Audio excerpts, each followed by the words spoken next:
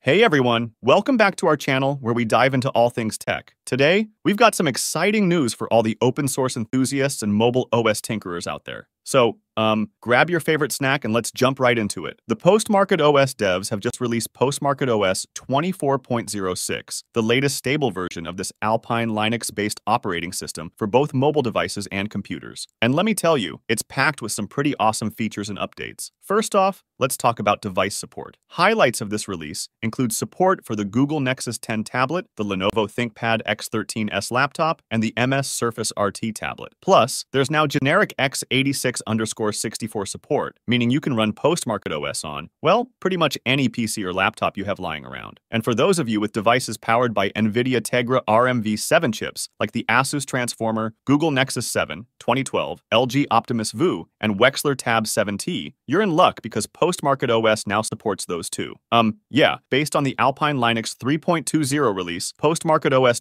24.06 also brings some updates to the graphical interfaces. We're talking about the latest and greatest KDE Plasma Mobile 6 and GNOME Shell on Mobile 46. The new GNOME Shell, by the way, introduces a new scheduling manager that, uh, improves UI smoothness and even lets you trigger the keyboard with a double tap on the bottom bar. Super handy, right? For those of you who prefer the GNOME-based Phosh graphical interface, you'll be pleased to know that Postmarket OS 24.06 ships with Phosh 0.39. This version brings some cool new features like folders in the app overview, better handling of devices with a notch, the ability to select Wi-Fi networks via quick settings, and you can now open the on-screen keyboard by long pressing on the bottom bar. And that's not all. This release also includes the SXMO one, 16.3 graphical interface, which improves suspension control and introduces new device configurations for the Nokia N900, Xiaomi Redmi Note 4, and PineTab 2 devices. And all four graphical UIs come with this beautiful new metal wallpaper. Among other noteworthy changes, Postmarket OS 24.06 adds new keyboard mappings for Chromebook devices, GPU acceleration support for the Samsung Chromebook, and logbookd as the default logger. There's also support for initramfs to export logs on boot failure, non-free firmware installed by default, and the ability to install the interfaces cage when building your own images. And of course, numerous improvements and bug fixes are part of the package. So if you want to check out all these details and more, head over to the release announcement page. You can download Postmarket OS